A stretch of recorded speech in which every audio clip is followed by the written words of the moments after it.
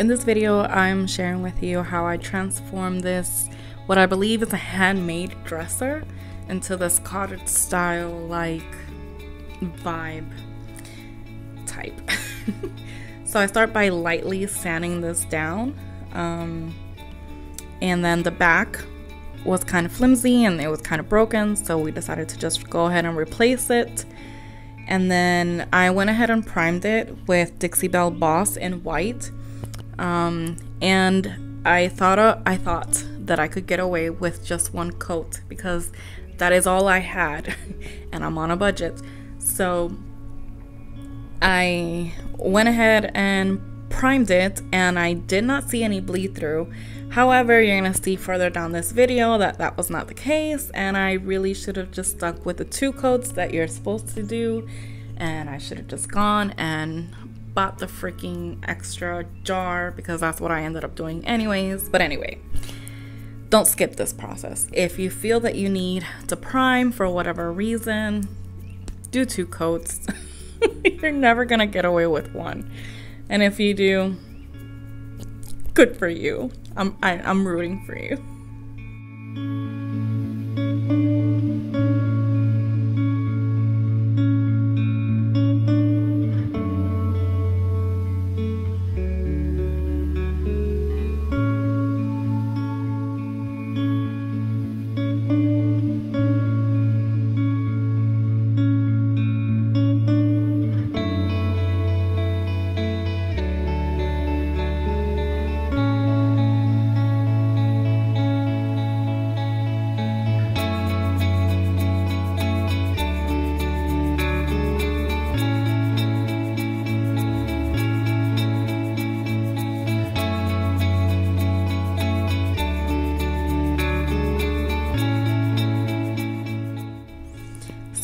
I primed the whole piece, including the drawers. Um, I had no issues with the drawers whatsoever.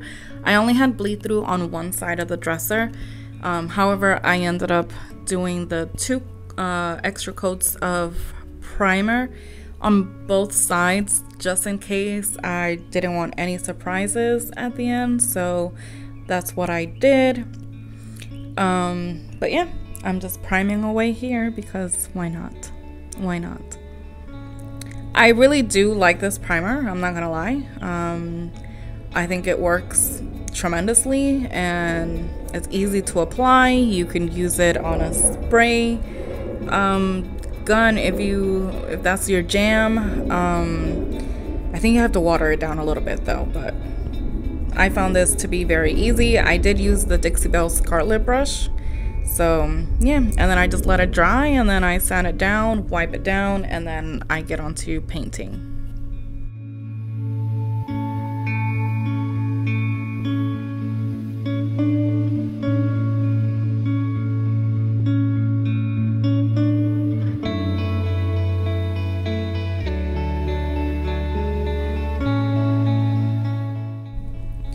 So I'm painting this in Dixie Belle's Tea Rose. I'm obsessed, and I think obsessed is an understatement. Um, I love this pink. It's just, it's perfect. It's just perfect. Um, however, I did find that it looked different here than in a previous piece I had painted. Either way, I love it. I will say, um, when it comes to pic- taking pictures, it's almost impossible to get your pictures to look exactly how this color or like to get this color look exactly how it looks in real life onto your pictures. But i edited as best as possible and it must have worked because like i i sold it. I sold it so. But yeah i love this pink. It's just it's not bright it's not heavy it's not too light. It's just like right there in between. It's my favorite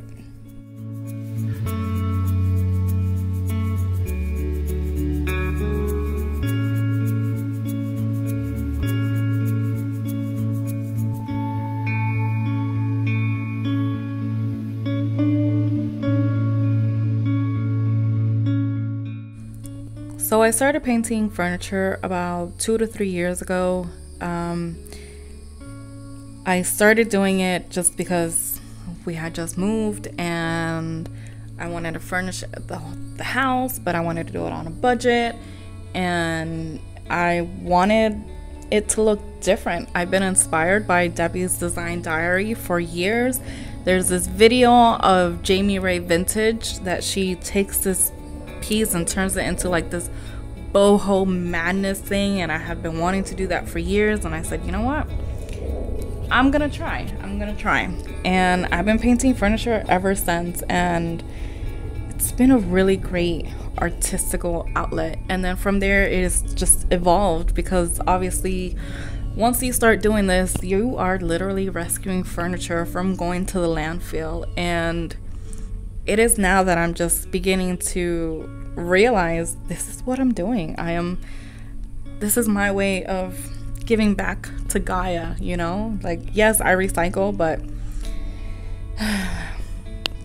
anyway, I think this is a great idea, you know, just turning old into new and giving it a new life and just it's like it had its, its own spirit in a way.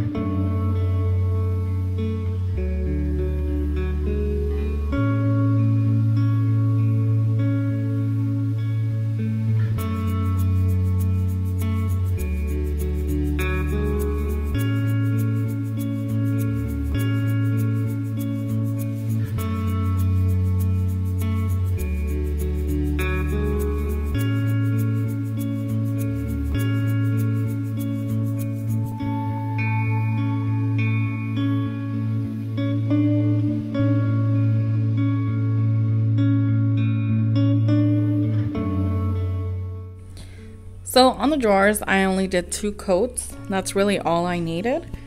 Um, and it had great coverage. And once I sealed them, like I said, no bleed through. So that was great. Now here, you're going to see how I was trying to blend in tea rose with sandbar. Now, in my mind, this should have worked, right?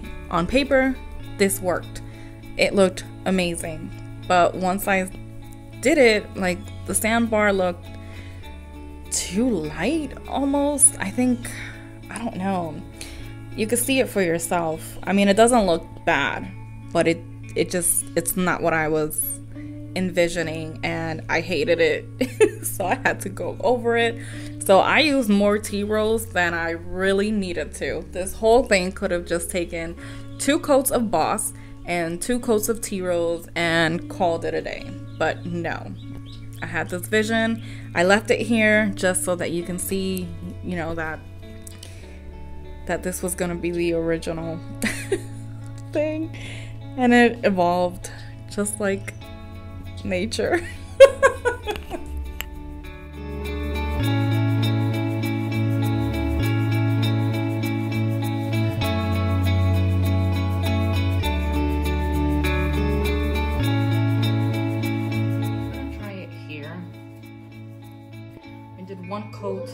the sandbar.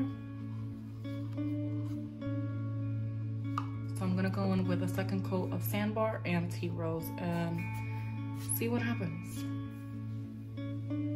This is beyond frustrating.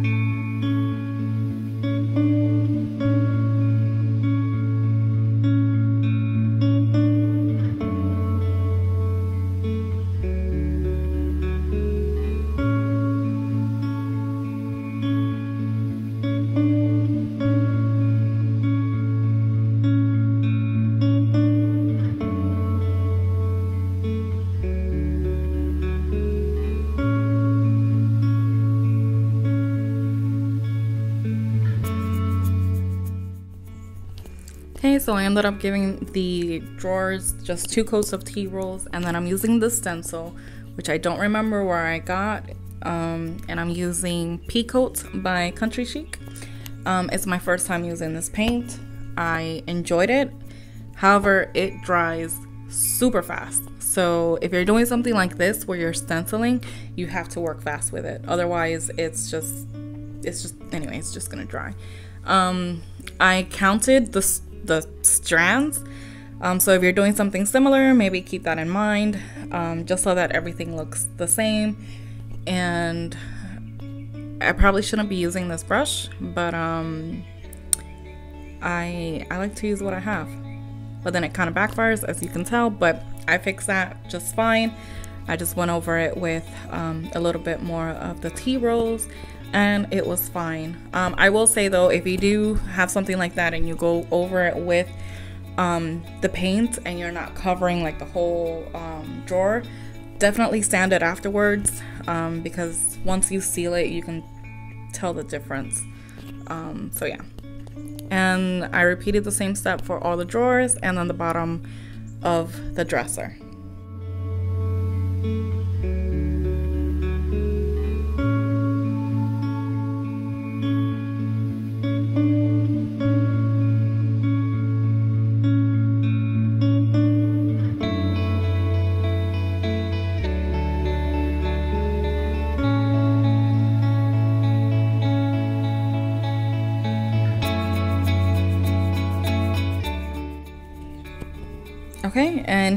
Can see clearly why I shouldn't be using this brush, but my name is Francesca and I kind of do what I want.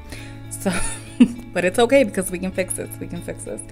I just went in with the artist brush and I just went over it with tea rose. Um, this doesn't always work. Sometimes this backfires. Um, but in this case, I got lucky. I went very light-handed with it um, just because I've made the mistake of screwing this up in a past project. So if this happens, just be patient and take your time so that you don't mess up your stencil work.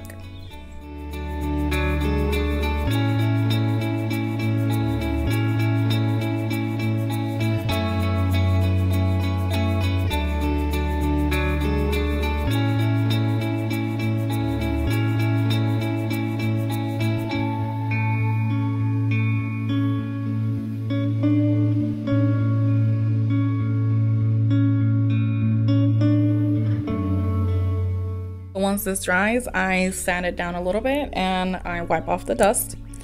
Now here you're gonna see the backside of the dresser and this was driving me nuts.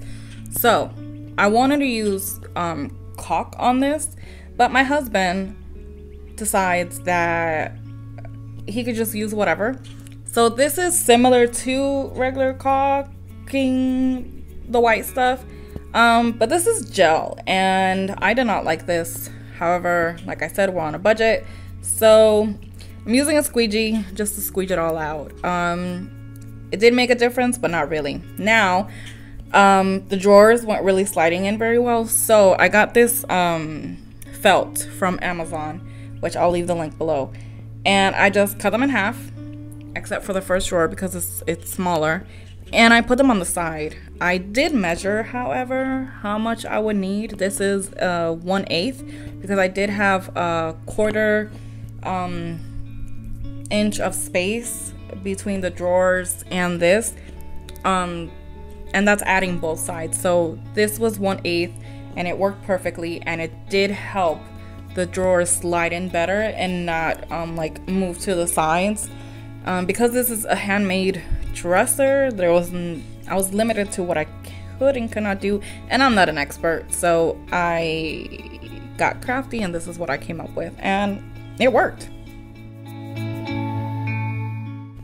Okay, now I'm sealing with Dixie Belle um, sealer and flat, and I did two coats on every drawer and the rest of the piece. Um, however, once I sealed it, then that's when I saw the tannings on one side of the dresser. And that is the most annoying and most frustrating thing that could happen to you after you've done all this work and you think you're done and you think you're on to the last step. And nope, nope, that's not what it decided to do. So I'm just sealing it. This was before I saw the tannings. And then I tried to cover it up as you'll see here coming up. Um, but it wasn't working.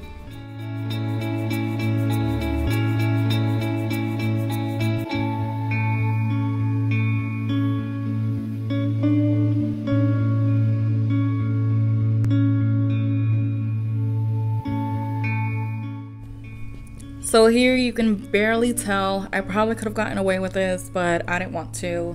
But here are the tannings. So I try to cover them up um, with a stencil here by DIY and the Peacoat by Country Chic. And this probably would have worked in another piece, but for this one, it's just, it wasn't doing what I needed to do.